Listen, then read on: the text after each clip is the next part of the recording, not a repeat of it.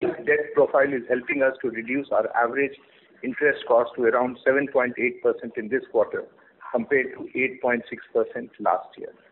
Our debt equity ratio has sharply reduced to 1.49 from 2.12 same time last year.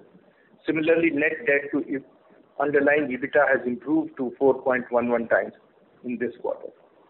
Over the last six months, we have been in discussions on the InvIT transaction, and it has progressed very well, and we are close to finalization of the binding agreements. We are very happy with the progress achieved till date on this transaction, and given the size and complexity of the portfolio and expected, we expect to approach the board for approval before the end of this month.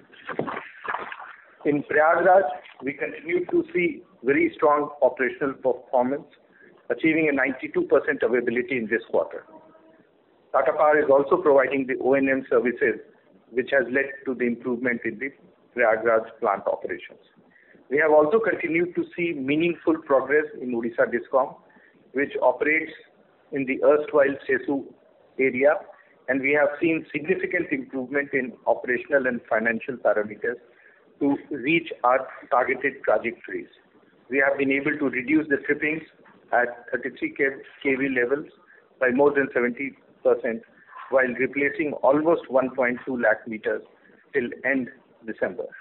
At the same time, we are working on improving the customer experience with better customer care centers, uh, call centers, and better customer relationship management solutions, as also uh, starting many initiatives to reduce the customer complaints on payments and billing. In our consumer-oriented business, we won contract to provide charging infrastructure for e-buses in Ahmedabad and BEST buses in Mumbai. Our solar pump business did installation of nearly 2,750 pumps this quarter, recording its largest quarterly revenue.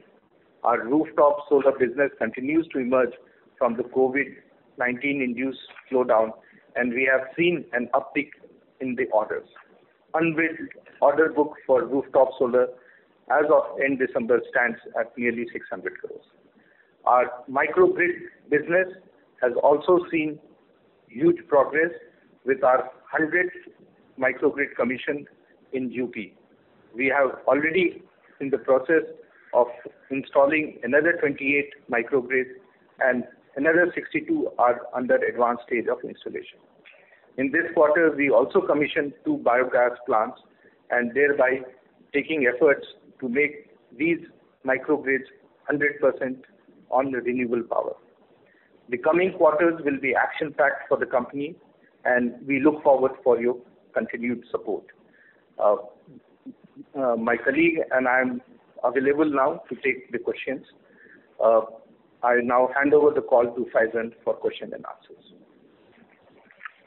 Thank you very much. We will now begin the question and answer session.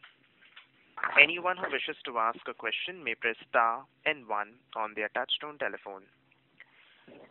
If you wish to remove yourself from the question queue, you may press star and two. Participants are requested to use the handsets while asking a question. Ladies and gentlemen, we will wait for a moment while the question queue assembles. Reminder to the participants, anyone who wishes to ask a question may press star and one at this time.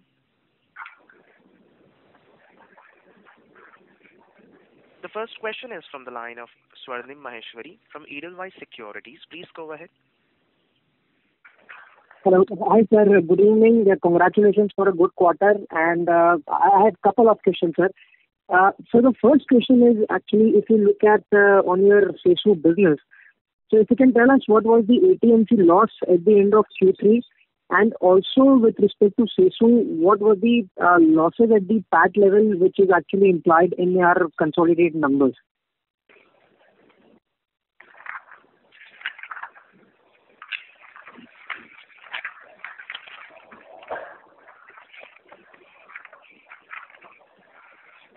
The uh, for CESU, the PAT numbers included in the consolidated number is 34 crores for the quarter.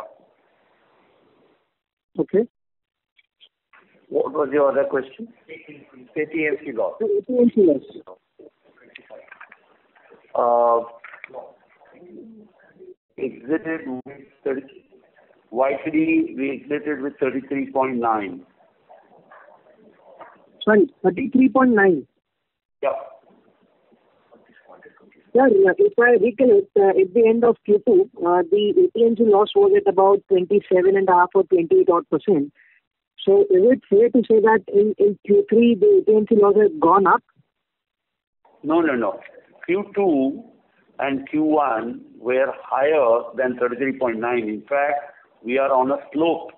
Uh, from Q2 we achieved 38.7 for the quarter. So when we exited with 33.9, obviously the actual would be much lower. We would have about 24, 25 is the for the quarter performance, so to speak, to bring down the cumulative to 33.9. So I don't know where was the gap in your numbers. You read something, some different number, but maybe offline we could help you with that. Sure, sure. I'll just recheck that. Uh, second thing is, uh, you know, we have mentioned that there is this Forex loss in the solar business, TPSSL. Now, what is this loss pertaining to? Uh, is there some sort of foreign loan over there? What is it? No, no, this is we buy modules. For modules.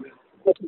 This is for the modules. You do the Forex booking, so it's MTM impact. So what is the quantum? No, you know that 70% of the input cost is imported modules. I'd say uh, oh, quantum of the loss is about 18 crores.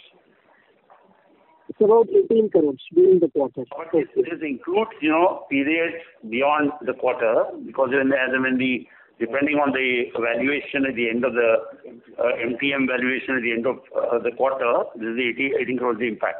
Some of it could could recover also. Okay. All right.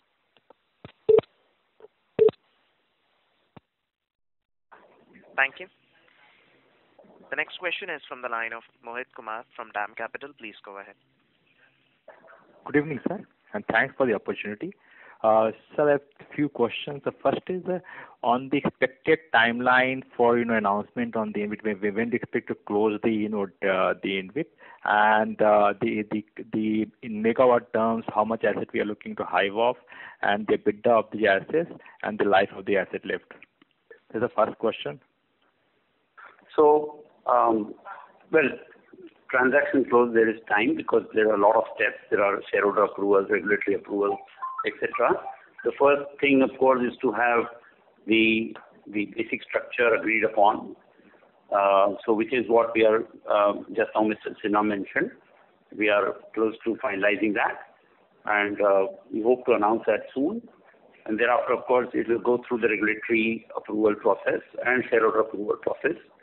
And as long as your, uh, as far as your megawatt answer is concerned, we expect to Uh, put about 3.4 GW uh, in this whole uh, mechanism. So intent is to put all of our renewable assets, um, barring some which have to stay back due to some reason. Um, but otherwise all the renewable assets will be transferred to the InvIT. Out of which 3.4 GW, how much is operational at this point of time, sir? 2.7 GW, am I right? Yeah. Understood, sir. Uh, secondly, on this uh, solar cells and modules business, uh, we have commissioned the new capacity. So what are your aspirations in terms of, you know, solar cell and module manufacturing from medium-term point of view? And uh and the and the order book which you have right now on the Tata Power Solar, is it safe to assume that this entire order will be executed in the next couple of years? Yes, because these are all generally 18-24 months duration. In terms of solar. They will continuously being uh, will be executed in the next uh, one to two years. Sir, what are your aspiration in terms of solar cell and module manufacturing? Do we have any plans to go to ingot, wafer, and do you want to increase this capacity? Is it something which uh, or it is just, you know? So at present, we are also looking at how the appropriate environment for the solar manufacturing will shape up. And uh, we are also uh, looking forward to the uh, support from the government on the various manufacturing related incentives. And I think once an appropriate regime is there, then we would certainly look at that. Right now, there is no immediate plan in hand to move in that direction. Last question, sir. Are you pursuing Mundra tariff resolution given that, you know, coal, the cost of the coal has again moved up and the CERC is open for business?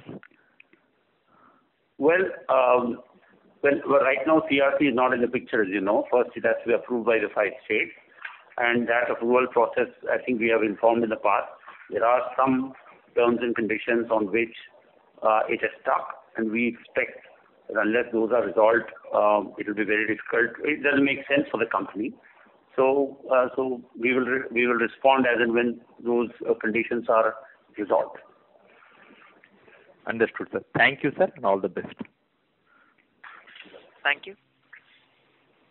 The next question is from the line of Puneet from HSBC. Please go ahead.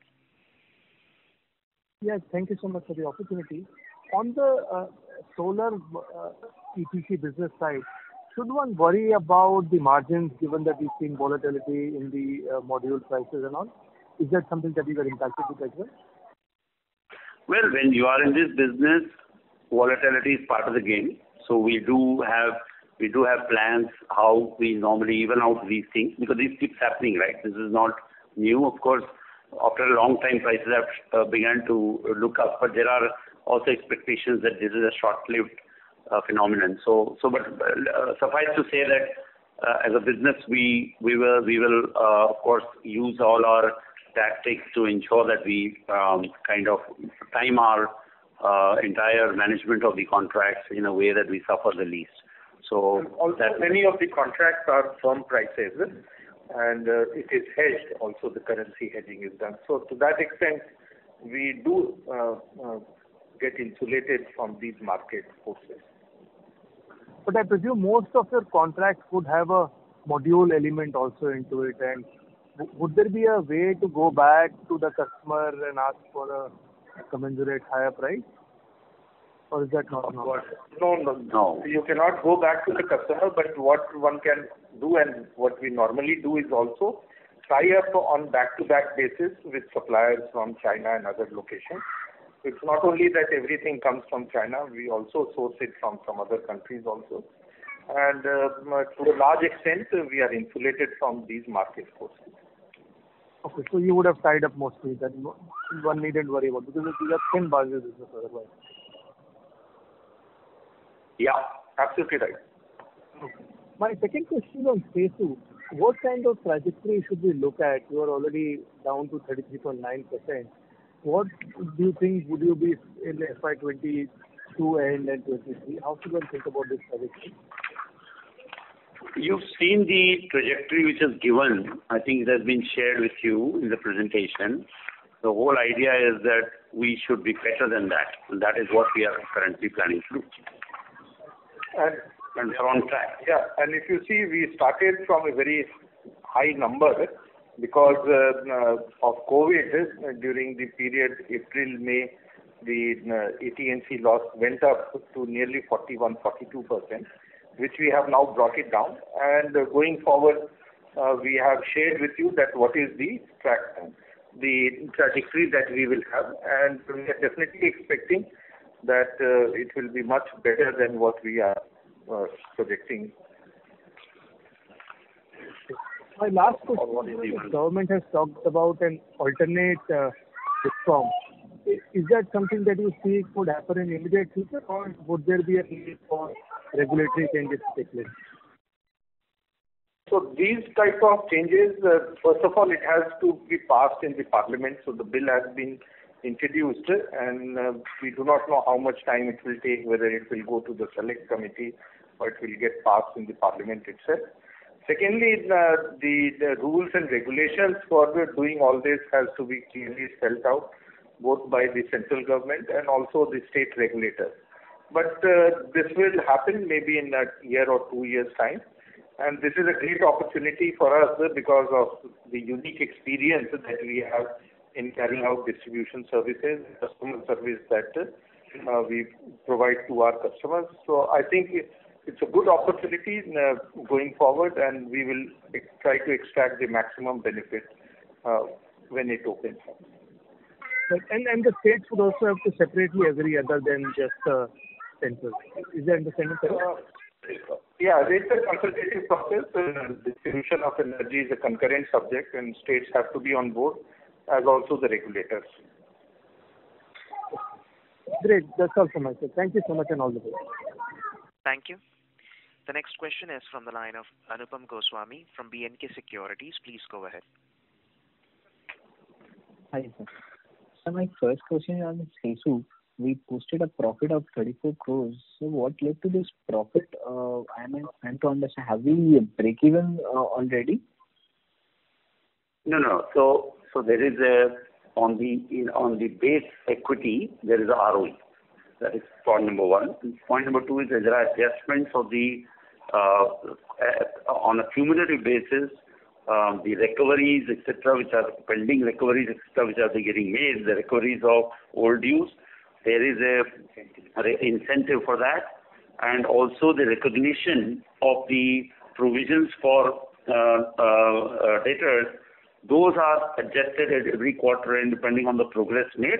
So this includes some amount of the progress belonging to the past six months also. Okay? Apart from the regulated equity on the uh, invested equity. Okay. Got it, sir. My next question on the Tata Power uh, Solar. Uh, we have achieved a higher revenue, uh, but our PAT has gone down. That is what you mentioned about MTM losses of 18 crore. Is that the reason?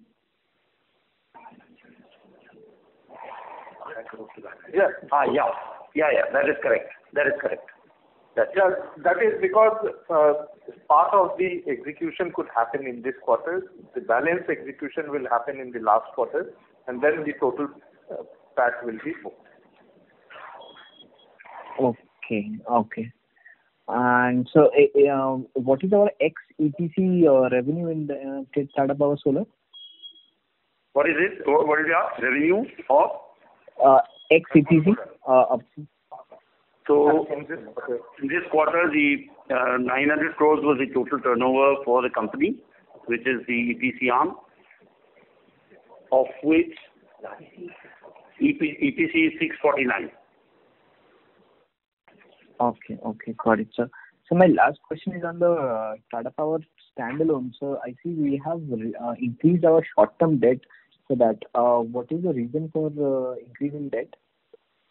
No, this is more now we are tactically planning to eventually uh, come with a proper long-term versus short-term combination. Right now, due to the fact that in the last four, five months, we raised capital, we sold assets, and now we have to plan to refinance and repay uh, some of the debt. Therefore, in the in the coming months, you will see that a lot of the short-term debt will get Uh, slowly phased out into long-term debt. Okay, sir. Okay, sir. Got it, sir. Thank you. I'll join back in the queue. This has been something which is on our radar for the last uh, six months. Even if you compare in March, the amount of short-term debt we carried versus what we carried in December, there is a marked decrease of about 3,000 crore. Okay. Okay, sir. Got it, sir. Thank you. Thank you. The next question is from the line of Kirthi Jain from Sundaram Mutual Fund. Please go ahead. Uh, thanks for the opportunity, sir. So my first question is with regard to the uh, Gujarat solar policy which has come. Uh, how has been initial response, if you have got any, on that front? And then with regard to charging installations, like in next 12-15 months, what is the charging installations are we planning to achieve in the next 12 to 15 months time, sir? So, uh, based on the Gujarat policy, whereby they have said that they will sign up PPA with individual uh, power generating individuals, uh, there has been a very good response from what we understand from Gujarat government. They've got nearly 5,000 applications of people who are interested. They are uh, right now scrutinizing those applications. Uh, many of the people who have applied are in touch with us because they want us to carry out the EPC work with them and also the O&M activities. So uh, we are looking at a great opportunity over there to support the investors, individual investors who would like to take up these type of generation program in Gujarat. Uh, sir, what about captive uh, consumers, sir, like large uh, industrial houses, chemical factories or the ceramic units? Are they also coming into sign the PPAs or what? Or sign the agreements? That is a part of our rooftop business, whereby we are tying up with them either on pure EPC basis or group captive basis. So again, there has been very good orders that we have received in the last quarter, and we are seeing huge amount of traction in uh, uh, these type of industrial and commercial establishments who would like to go for uh, rooftop solar solutions. And uh we are also now coming up with large initiatives and publicity campaign to to reach out to many more consumers in different parts of the country to see that how the benefit of self-generation through rooftop uh, can be provided to these consumers, and their electricity bill can come to that extent. Okay. On uh, EV installation, uh, charging station installation, sir, what is the number we are targeting over next 12-15 months? Right now we have nearly 300 public charging stations that we have set up, and uh, we expect uh, to complete this year by with nearly 500 charging stations. And these are fast uh, charging stations in public locations. We also have done nearly 2,000 home chargers. And going forward, these numbers, I think will be shared with you in terms of huge growth potential. And we will be playing a very, very important and critical role in providing these infrastructure throughout the country. Okay. That's the last question from my side. Sir, yesterday, uh, one of the uh, news I saw that uh, the AP bidding happened and at 2.48 also we didn't win any project in the AP bidding. And Second thing, NTPC is able to take our service and is able to supply at 2 rupees, whereas we are not participating in those solar tender. Any particular reason, sir, in those two aspects we didn't do, sir? Yeah. First of all, about the AP, uh, we found that the AP bidding is being done without uh, consent from the regulator. And uh, also the agency which is doing the bidding is not is not authorized to carry out these sort of biddings. It has to be a distribution company which has to do that. So m so that's why we felt that the whole process is not very transparently done, and we would not be in a position to bid in that. Secondly, as far as the uh, competitive bidding came, uh, we normally bid in all projects, and uh, you have seen in many of the recent projects that we have bid, and we have competitively won those projects. And we keep on assessing the market and based on the opportunity and what sort of return realization that we expect, we normally bid and we win in those contracts. Uh, sir, in terms of the solar pumps, uh, how has been the response or any numbers can you share on solar pump side, sir? So this year uh, we have, we shared with you that in last quarter we implemented some 2,750 pumps, and we have a very good order book of solar pumps. This year we have 7,500 numbers have been implemented, and we are expecting that in future because of the huge push that Government of India is giving under the KUSUM program, we'll be doing more number of solar pumps going forward. That's one of our growth businesses apart from rooftop solar. Okay, sir. Uh, thanks a lot, sir. Thank you. The next question is from the line of Rahul Modi from ICICI Securities. Please go ahead. Uh, Thank you uh, for the opportunity, sir, and uh, uh, congratulations for good set of numbers. Sir, just wanted to take your view on the bidding landscape in the solar projects, and we've seen a lot of hybrid projects are also coming up. So, sir, what are the kind of um, bids that you are looking at in the next means opportunities that are coming across? on an annual basis, realistically, over the next couple of years?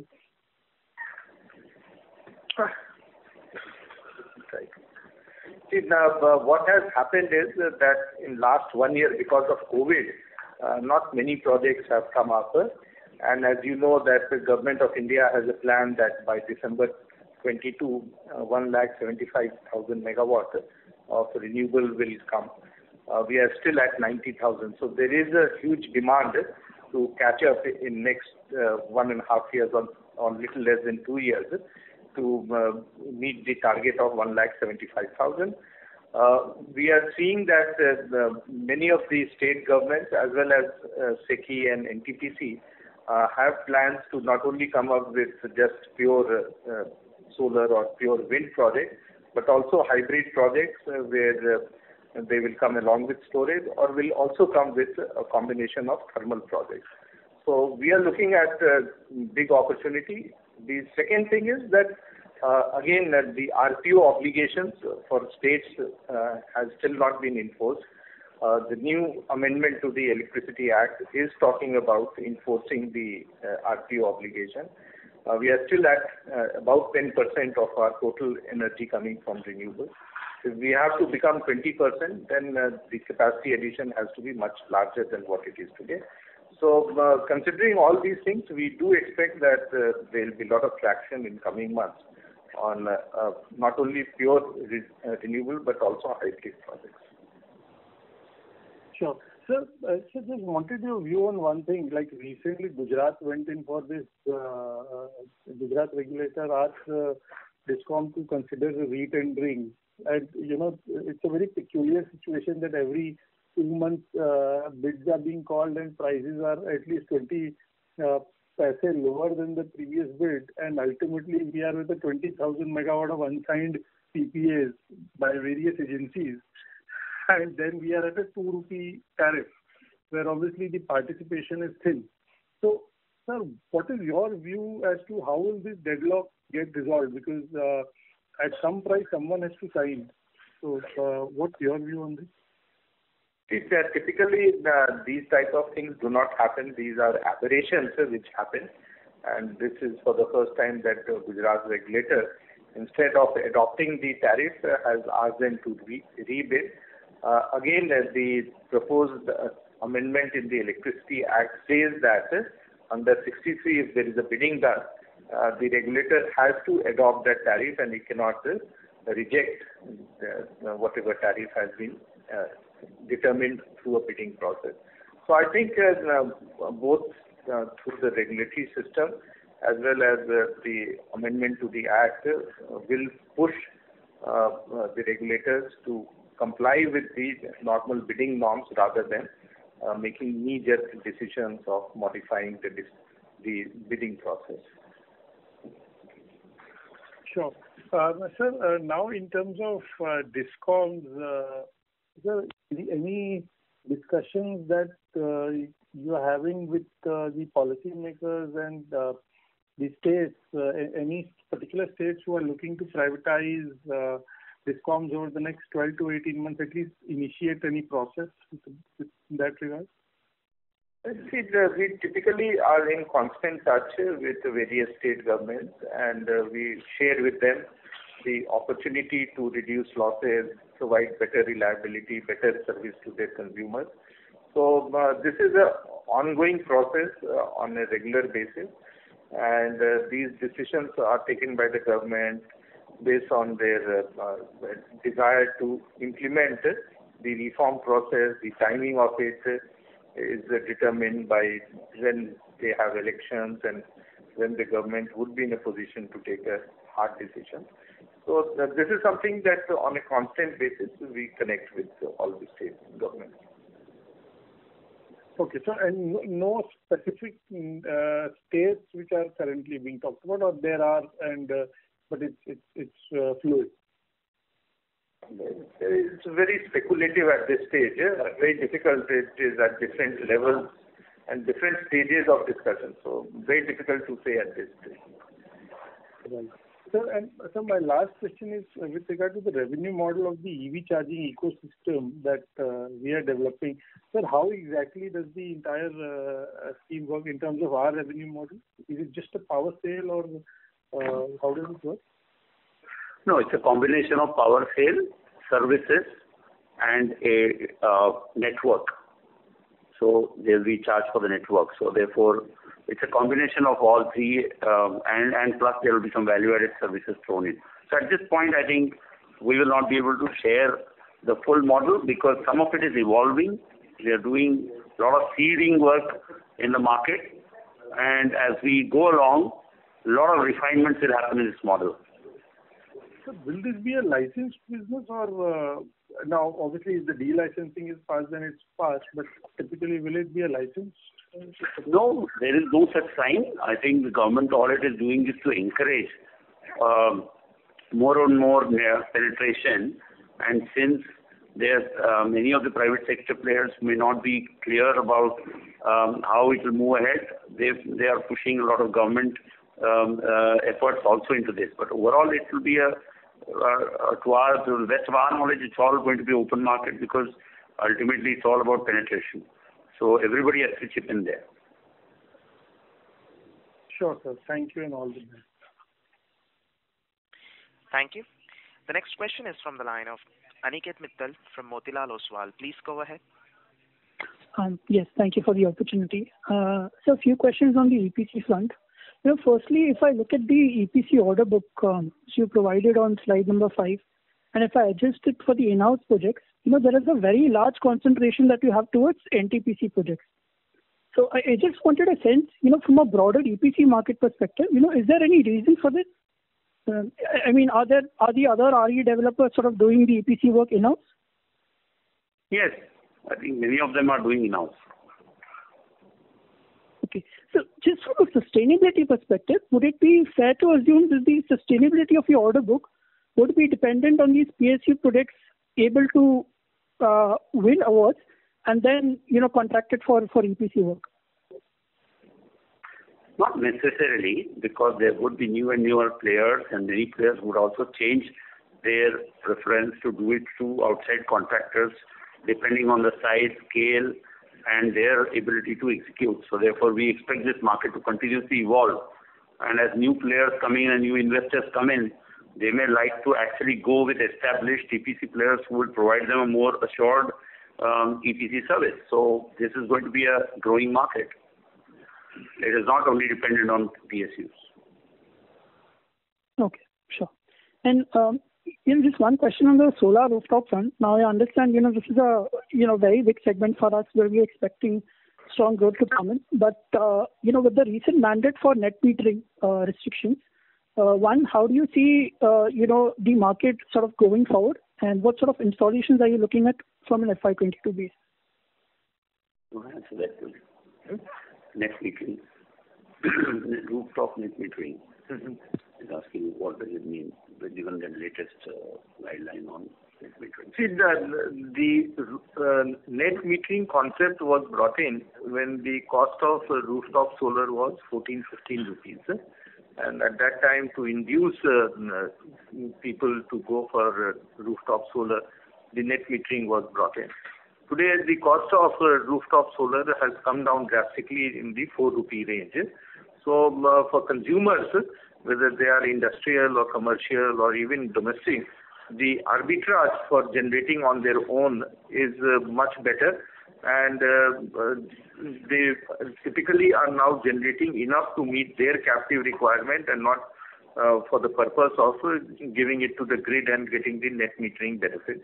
So I think conceptually the whole structure is changed. But otherwise, Uh, uh, there is a huge demand that we see in the market because uh, at the end of the day today, industrial and commercial consumers end up paying about 9, 10 rupees, while if they do captive generation, it is about 4-5 rupees. And they will tremendously benefit if they go for rooftop solar. Okay. Just to, let's say, um, get an idea from the next couple of years, because, you know, the problem is what's happened is is, is based on the uh, recent guidelines, they've said that net metering will only be uh, allowed for loads up to 10 kilowatt, right? And I think there's a reluctance for for consumers to actually go on a gross metering basis. So from a next, let's say, two-year perspective, uh, what sort of, um, you know, installations do we see on the solar rooftop front? Yeah. There will be lot of demand. Uh, the growth is something which has happened globally. Everywhere, when there was a large penetration of rooftop solar, uh, the gross metering has happened. So, uh, this is something which will transition over here. The net metering will have a sunset, and we need to see that when exactly. Yeah. It will push up the prices a little bit, yeah. Market will readjust. Maybe just to get a sense on the numbers over here, could you tell me on a nine-month basis, what's the revenue and EBITDA from the solar rooftop segment? Um, nine months solar rooftop, we made uh, revenue of about 300 crores. What would be the EBITDA? At present, we are not disclosing rooftop EBITDA. Uh, some of the new businesses which are nascent, Uh, we are not disclosing EBITDA because they are in very early stages. Uh, but I think at appropriate time we will start disclosing. I think it'll be better we start it systematically before we selectively answer this. Sure. And um, maybe just one last question on the rooftop front, eh, eh, because just wanted to understand the model over here. Uh, so let's say the installations that we do, is it is it largely a CapEx model or an OpEx model? We have both. Okay. Depending on what the consumer wants. Okay. And uh, could you provide just some uh, sort of uh, visibility, let's say from an FY 2022 perspective, what would be the total installations that you're looking at for Tata Power? So we won't be able to share that right now, but at an appropriate time, should we decide, we will be sharing it. Okay. Sure. So my next question is on the CESU front. Could you tell me what's the overall cash at? Sorry, overall? The total cash Cash and cash equivalents at CESU. Total cash and cash. Uh, uh, sorry, you are speaking about CESU? Yeah. yeah. The CESU business. What's the overall cash? Sorry? Yeah, 1,200 crores. 1,200 crores. So if I look at uh, slide number um, you know, 34 of your PPT, the overall debt in CESU is 90 crores, right? And the overall cash right now is 1,200 crores. So is it right for me to say that the takeover of CESU has led to a cash infusion of 1,100 crores? I mean, yeah, it's only a very accounting way of looking at it because at the end of the day, this is restricted cash. This cannot be just freely used. So but your net debt amount would include the 1,100 cash of CESU, right? Yeah. Okay. And, uh, uh, sir, uh, on this 1,100 cash of CESU, you would also be earning other income? Yes. Yes, it's deployed, yes. But it will be safe a safe haven security, so it will not be a very high level of income, et cetera. Out of the 34 crores PAT that we've done on 3Q, how much of that is other income? Because on a 1,100 crore number, even if I assume, let's say a 5% uh, other income, I think you would be earning on the 34 crore number somewhere between 12 to 15 crores of other income itself. This is a pass-through, so it won't accrue to the oh. bottom line. Oh, okay. Okay, that's a pass-through. All right. Okay. And uh so one question on the on the Delhi front. Uh, you know, I think there is some impact of order that you've um, that you've mentioned uh, in your PPT. So what is that? Will uh, you repeat, please? Delhi. On the Delhi distribution front, you've mentioned that there is some order impact that's come. 34 crores. That's about 34 crores. So, uh, I mean, coming out of a tariff order. That's coming out of a tariff order. Okay. Just one last question maybe on the CESU front. Uh, uh, I think the 3Q numbers include um, include the takeover of CESU, right? So within 4Q, we've also taken over WESCO as well as uh, SOUTHCO, right? Yes. We'd also be taking over NESCO. So what would be the, you know, cash infusion that would come in there? Uh, so let's say CESU has around 1,100 crores. So net debt has actually benefited by around 1,100 crores because of CESU coming in. So would it be fair to assume that there would be another somewhere between 2,000 to 3,000 crores of, um, you know, cash infusion in a way that will happen because of takeovers of these three entities? Uh, the other two other three DISCOMs, by the way, the third DISCOM is yet to be really come to that stage, but the two DISCOMs, we are yet to get the final balance sheet, et cetera. So we won't be, uh, at present, what we have is only CESU. And it may or may not have that level of balances also. Okay. So there's a process going on on the handing over. Only when it is complete, we'll be able to know what exactly is the cash balance there. All right. Okay. Okay. All right, fine, sir. Thank you. That's it from my side. Thank you.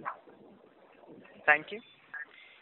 The next question is from the line of Sumit Kishore from Axis Capital. Please go ahead. Good evening, sir. Thanks for the opportunity. Uh, my first question is, uh, at what uh, stage of approval is the amalgamation of Mundra into the standalone entity? So right now, we are uh we are soon going to have, Uh, in the next two weeks, we are going to have the shareholders uh, closure of the shareholders uh, approval, which is the NCLT called meeting. And following that, we will have to file the results of that shareholder results, and then we will wait for the approval. So it's very, very advanced stages of getting close. Okay, so one can assume it will be done in this financial year? Yeah, even if it is spills over, uh, you know that it is effective April 20. So the effect will be there before we close the accounts this year. Okay. And, uh, second question is, uh, in your standalone accounts in the presentation, I noticed the other income of 700 crore. Um, what is driving that other income? So, uh, this is uh, dividend from subsidiaries, overseas subsidiaries, and it is getting in the consolidated, it gets eliminated. Okay, which overseas subsidiary is giving such a big dividend? This is our shipping uh, subsidiary. Okay. Post the sale of our shipping assets. Got it. Okay. And, the third question is, of the 19,480 crore debt at Tata Power standalone, um, what is the updated figure on the debt attributable to CGPL and, uh, the debt attributable to the acquisition of, uh, Welspun Renewable, Walwhan Renewable? I don't know whether it's still relevant to isolate, but, uh, you know, it is 3,800-3,900 for the Welspun acquisition and, about 8,000 crores can be attributable to CGPL, because originally CGPL had about 13,000 odd crores, which has come down to 4,000 crores. Sure. And after I take these two buckets, the residual debt should largely be attributable to the license area? Uh, yes, yes, and of course, supporting investments. Um, sure. that are made, for example, Odisha investments, some amount will be there. So yeah, broadly, that's correct. Yeah.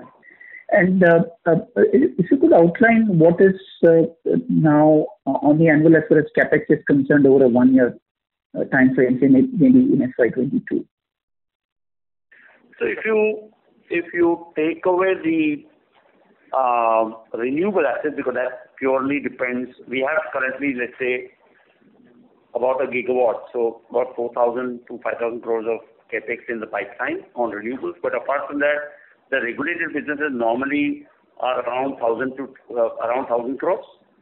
Um, we do have a potentially uh, higher number in transmission in Mumbai, but that is, that will be known in maybe a month or so. We'll be able to share. Maybe in the next quarter call, we'll be able to share the exact outlay for next year. But that's broadly the CapEx plan. And the new businesses have very little CapEx, uh, a couple of hundred crore at best. FGD. Yes, uh, we do have an FGD program, close to 4,000 crore across our thermal units, so that will be staggered in next year and the year thereafter.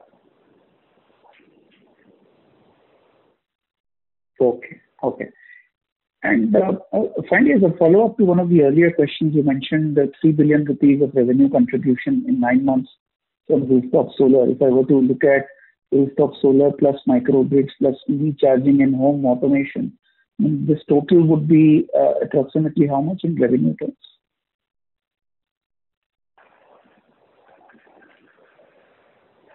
Maybe 500, roughly 500 crores YTD would be Uh, between rooftop and other products. And for the quarter, it'd be about 250 crores. For the quarter, it's 250 crores. And uh, so, how do we evaluate profitability in the customer-oriented businesses? Um, I know you're not going to give me a figure, but uh, um, how do we think about profitability? No, I mean, Uh, ultimately it will about be margins. What we are saying right now is that they are in early stages of uh, development. So once it stabilizes in terms of the initial capital and the infrastructure that you have to put in, then I think we can start talking about. Right now, they are all in building stages, and we would have loved to put all of them in WIP and CapEx, but accounting treatment doesn't allow. But strictly speaking, they are in very building stages. That is why we are not wanting to uh, kind of come to a conclusion on what the guidance on margins could be. And all these customer-oriented businesses are sitting in um, um, Tata Power Solar? So except the uh, pumps which uh, which is sitting in Tata Power Solar, others are in standalone, but we are going to merge Tata Power Solar also, as you know. So effectively, all these new businesses will be in the standalone parent. Standalone. Got it. Thank you, and wish you all the best. Thank you. Thank you. The next question is from the line of Atul Tiwari from Citigroup. Please go ahead. Yes, sir. Thanks a lot. Uh, sir, my question is on your longer term strategy. Uh, so, a few months ago in the annual analyst meet, you kind of laid out uh, the path to improving the consolidated ROE to a much higher level. Uh, if I remember correctly, 12%-13%+. Plus. Uh, but at the same time, you are deploying a lot of capital in the renewable business. And if I look at, say, year-to-date FY 2021 PAT of about 254 crores, this is basically console renewables without EPC. On a net worth of about 8,000 crores, the annual ROE appears uh, on the operating capacity, ROE appears to be less than 5%. And we are deploying even more capital behind a business where based on the current evidence, ROE appears to be less than 5%. So how do you reconcile the two? Uh, because on one hand, uh, the business appears to be pretty suboptimal ROE, and at the same time, we have laid out this vision to of increasing consolidated ROE to a much higher level. Okay. So there are two important aspects to it, right?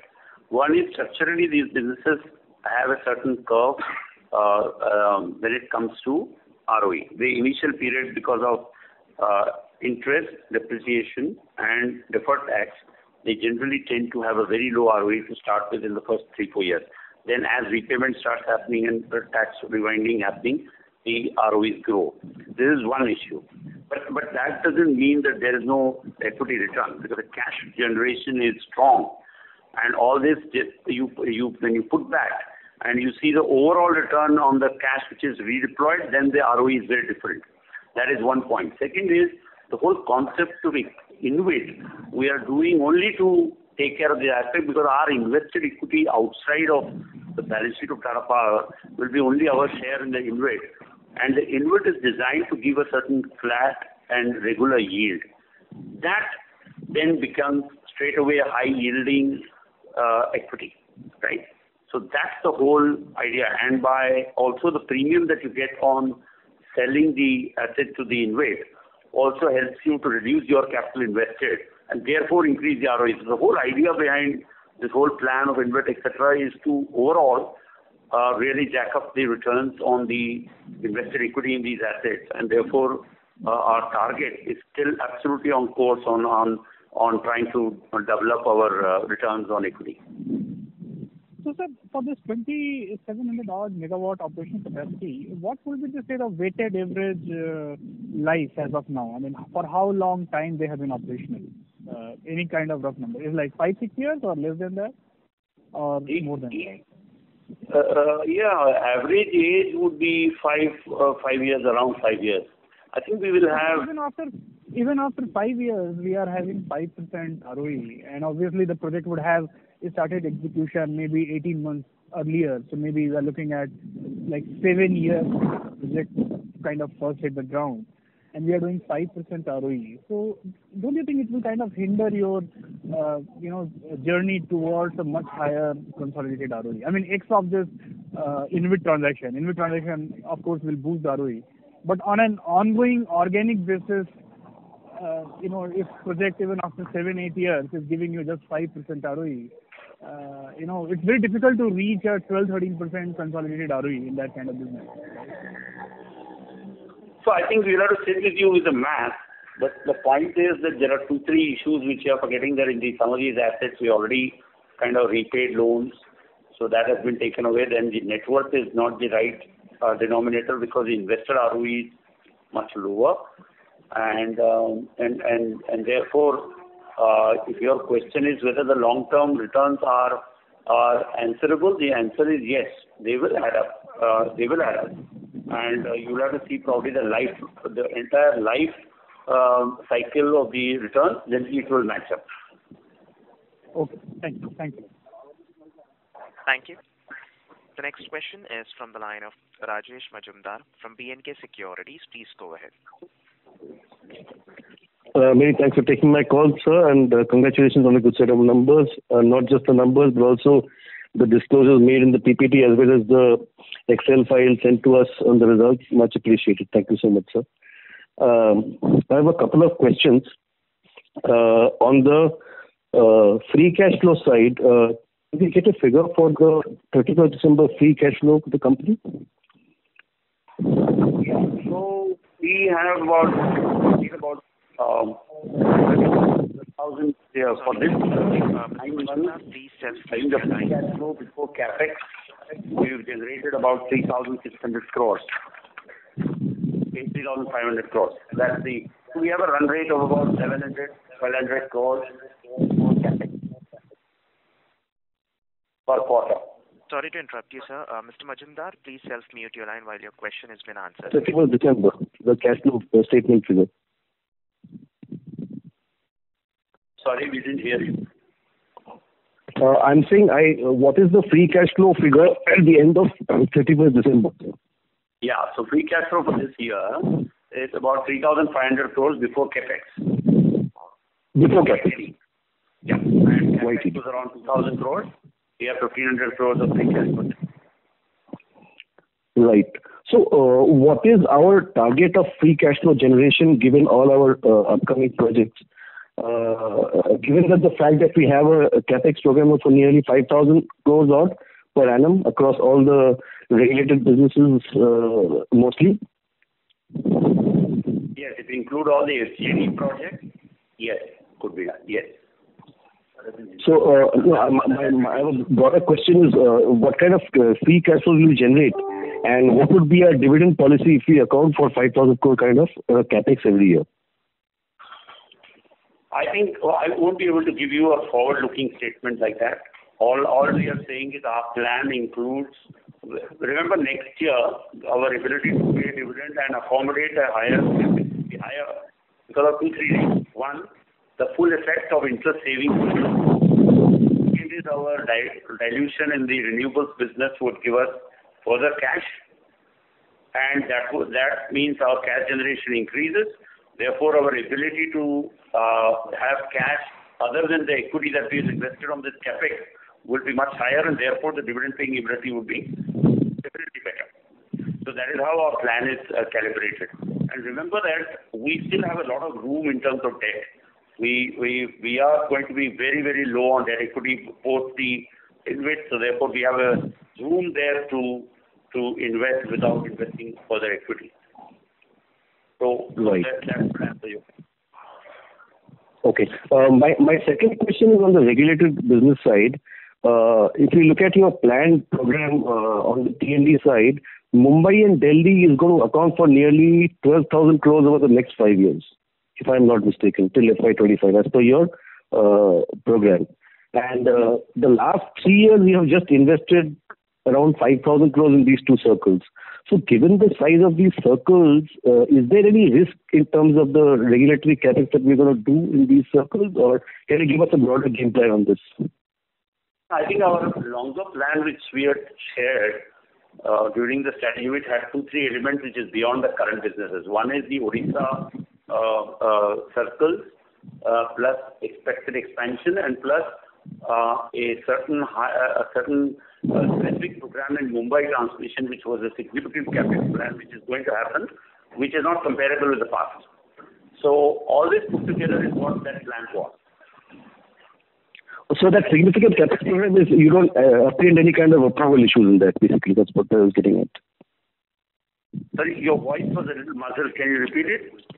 Yeah, I'm saying on the significant capex in Mumbai, I think it's about 6,000 crores.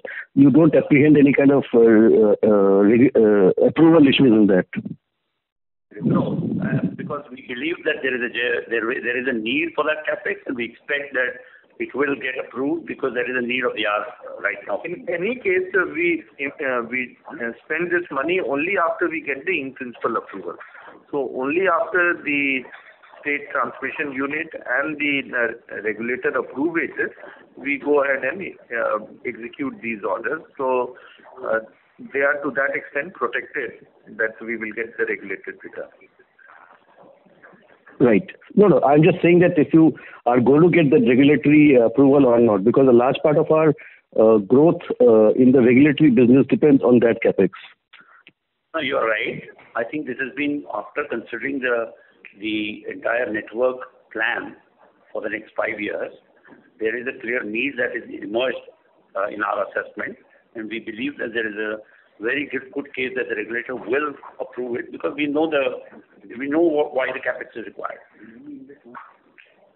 Okay. In, in fact, for the next two years, already 2,000 crores has been approved. So uh, for next two, three years, they have already approved a large amount of capex plan. Okay. Okay. Thank you. Thank you. Thank you. Ladies and gentlemen, we have come to the end of the scheduled time. I now hand the conference over to Dr. Sinha for closing comments. So, uh, thank you to all of you for joining us for the call. And uh, uh, wherever you have more questions, uh, my colleagues uh, will be more than happy. Kasturi and Rahul Shah can offline take these questions and respond to all of you. And uh, uh, we look forward to receiving your feedback and improving the services that uh, we can provide, especially considering that we have a long-term strategy and uh, your feedback is important for implementing them. So once again, thank you and uh, look forward to interact with you again. Thank you. Ladies and gentlemen, on behalf of Tata Power, that concludes this conference. Thank you for joining us, and you may now disconnect your lines.